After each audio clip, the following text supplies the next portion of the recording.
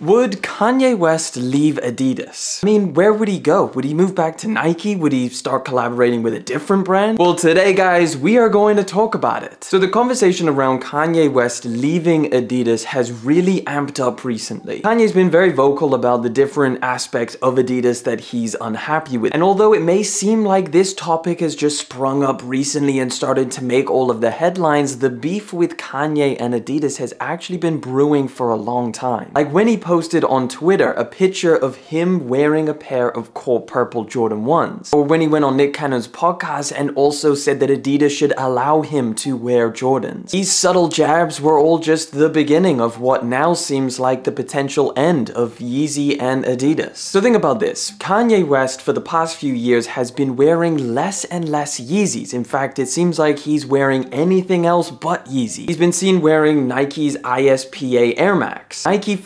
Foamposite Nike Terminator highs, Nike gloves, Nike socks, the list goes on. And this was all before Kanye started wearing nothing but Balenciaga. I mean, that's a little bit more recent, but yeah, ever since the Donda album rollout, it has been nothing but Balenciaga for Kanye West. Now, I think most people assume this is and was because of the Yeezy Gap Balenciaga collaboration, which we now know is a big thing, and still to this day, Kanye is rocking Balenciaga. But literally, the only Yeezys we've seen Kanye wear recently is a pair of of slides. But him just choosing not to wear Adidas and Yeezys is not the only thing that has sparked all of these questions of is he going to leave or not. Now of course this brings us to the main thing which is his actual public statements talking about how unhappy he is with Adidas. The first big upset for Kanye was when Adidas decided to release the Adilette 22. He made a post saying how unhappy he is with Adidas that they decided to release a pair of slides that resemble his own. He literally called them fake Yeezy slides and a rip-off of his design. And this is something that Adidas has never addressed, at least not publicly. They went ahead and released the slides. They dropped plenty of different colors and it looks like they've got a lot more in the pipeline. Now more recently this month, Kanye made another statement speaking out against Adidas. This time he had a lot more to say and he actually listed out a bunch of different reasons why he was so unhappy with Adidas and it wasn't just about the slides. He started by saying that Yeezy Day was never his idea. He didn't approve of it and it was all Adidas. Now in Kanye's actual message, he doesn't use any full stops and he uses the word approval quite a bit. So I'm just gonna kind of bullet point all of the things that Adidas did without Kanye's approval. Adidas brought back older Yeezy styles. Adidas picked colors and named them. Adidas hired the general manager of Yeezy, stole colorways, styles, and material approaches. Finally, Adidas took talent from the production side and reallocated them throughout Adidas Originals originals. After hearing all of this from Kanye, you can imagine why a lot more people took Kanye leaving Adidas a lot more seriously. Like when he was wearing Jordans or like that time when he posted a Jumpman picture to his Instagram, I guess it could all just be seen as light jabs against Adidas or just Kanye doing what Kanye does, going against the grain. Now it seems more and more likely, especially because we know how unhappy Kanye is with a lot of the things going on within Adidas, that Kanye could be jumping ship. Now in terms terms of Kanye's contract with Adidas, it's a 10-year deal, so his contract expires in 2026. We're yet to see whether Kanye will wait until the contract will expire to go off and leave Adidas, or whether he will decide to cut it short, if that's even possible. But then the conversation would move to where does he go? What does he do after Adidas? I mean, after all, it does seem like the Adidas and Yeezy collaboration is tremendously successful. I mean, it has pretty much built Kanye's wealth primarily through selling those sneakers. But would he go back to Nike? Obviously, he was with Nike and he made some insanely popular sneakers with them. It was like our first introduction to Yeezy as we would know it. I mean, it is definitely possible that he did go back to Nike, but in my opinion, I think it is highly unlikely because of how their partnership ended in the first place. To put it quite simply, Nike just didn't want to pay Kanye as much as Kanye wanted to get paid. I mean, at Adidas, Kanye Kanye owns 100% of the Yeezy brand. So unless Nike was willing to produce a similar deal for Kanye West, I don't think he would ever consider that. But if you take a look at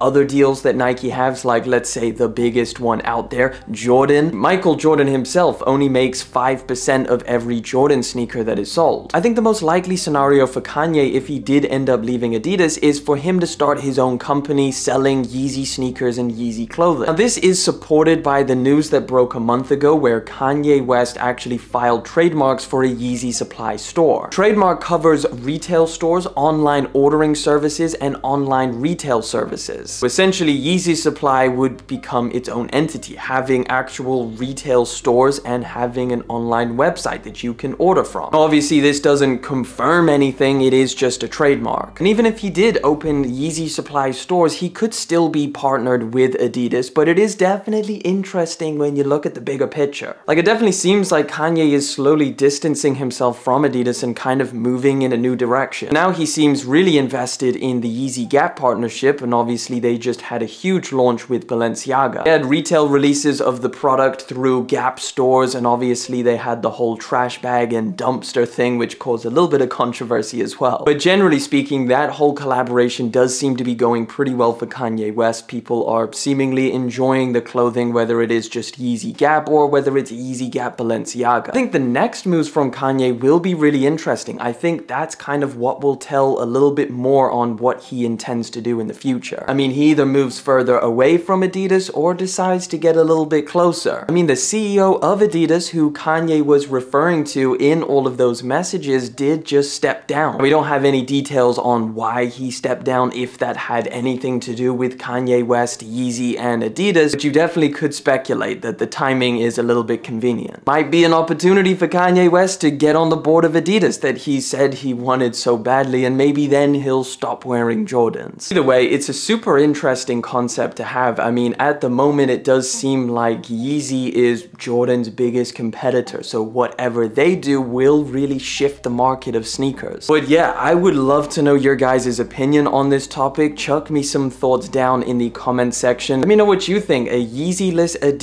would look like. Chuck it down there, but I want to thank you guys so much for coming through for today's video. Thank you for hanging out, liking, commenting, and of course subscribing. I'll catch you guys in the next one, but until then.